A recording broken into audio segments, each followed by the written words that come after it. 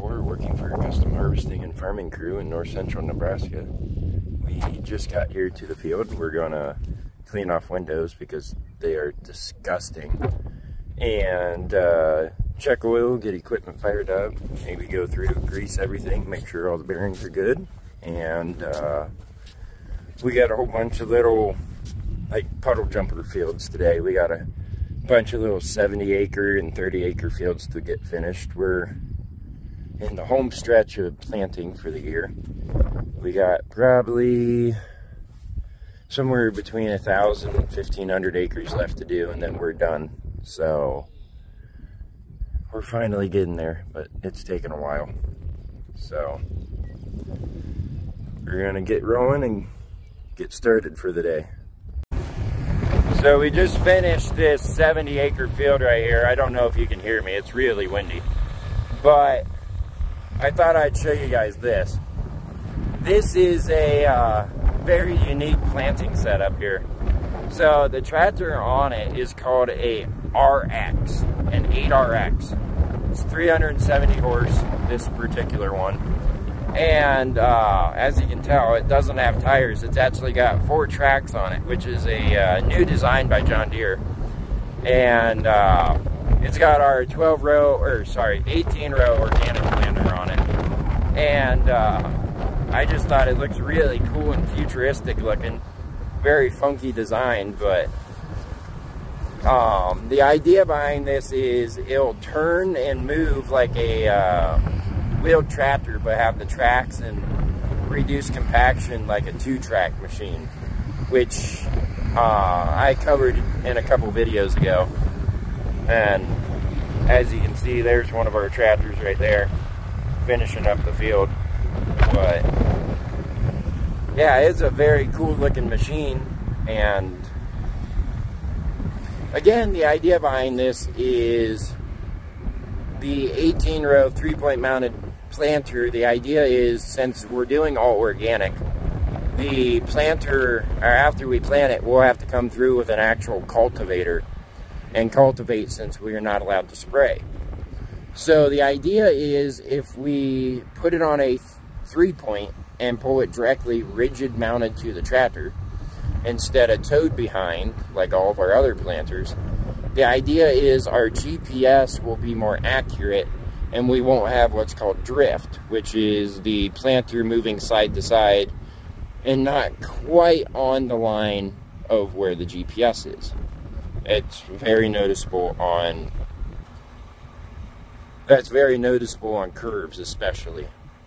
So the idea is when you have it this way, you can make sure your lines are a lot straighter and then your cultivators aren't ripping up nearly as much corn.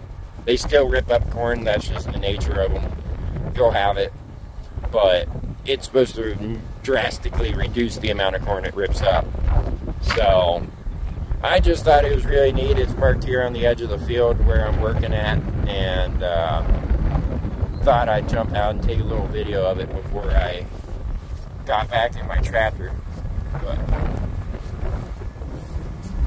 you can see it's just a little 18 row corn planter and funny enough if you actually look at the tanks on it it's not a John Deere planter but it, those are actually John Deere OEM tanks they got uh, precision planting row units on it and the company that builds these builds their own bar but for the most part everything is uh, there's a lot of John Deere OEM parts on it, and it's painted to look like a John Deere planter, which John Deere now frown upon that. And I, if I understand correctly, this was one of the very last ones built with John Deere OEM tanks, but still really neat.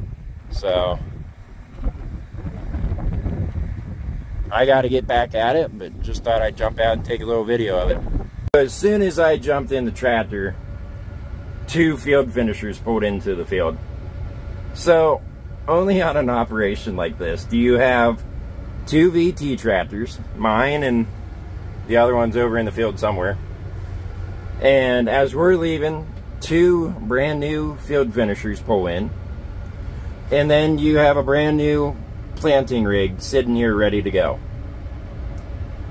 I don't even want to guess how much money's sitting here on a 70 acre field right now. If I had to guess, there's probably $5 million sitting here. This is, this is the kind of stuff that you can only dream of from being from Ohio.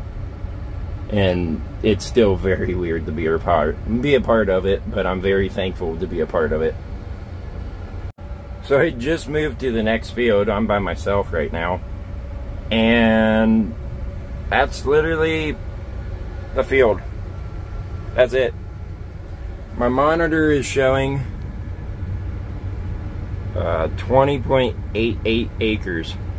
So it's currently 1017. So let's see how long this takes. If I'm if I had a guess, it's going to take roughly 45 minutes.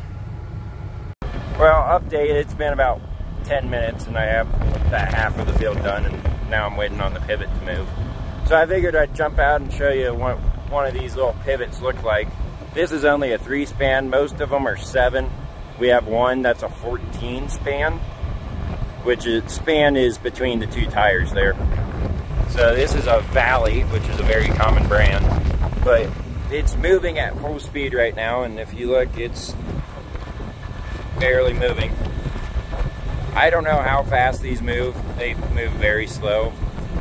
So that's why we open up our slot as the first thing we do in the field so that it can get moving as we work across it. Usually we don't catch them like this, but since it's so small, we did. And then here's what one of the sprinkler heads look like. It's just a normal sprinkler head that hangs down into the crop. Some are longer than others. This some have rubber tubing, like this one. Some have metal. Um, so those just hang out and make a nice little fan of water. And then usually out on the end they have a big end gun that shoots way out into the standing crop so you get a bigger circle.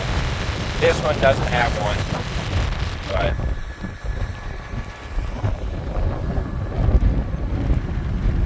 that's what they look like.